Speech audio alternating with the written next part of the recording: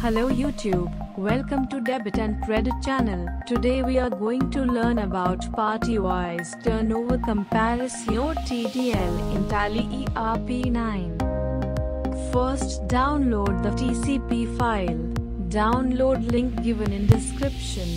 Once you downloaded the file, open Tally TDL configuration by pressing Alt Ctrl T and then press F4 key on keyboard. Load file on startup should be yes and in next field paste the TCP file path and press enter.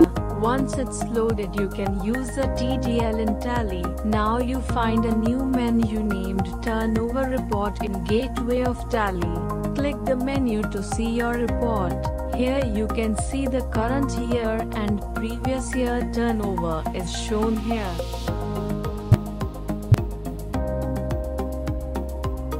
Press F2 key to change period.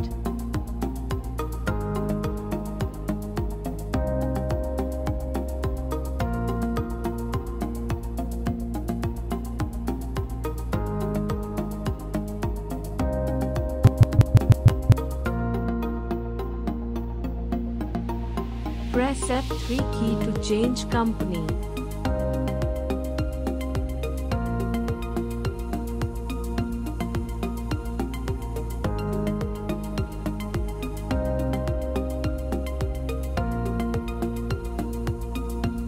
Thanks for watching. Click like button if you like this video. Subscribe our channel for more videos.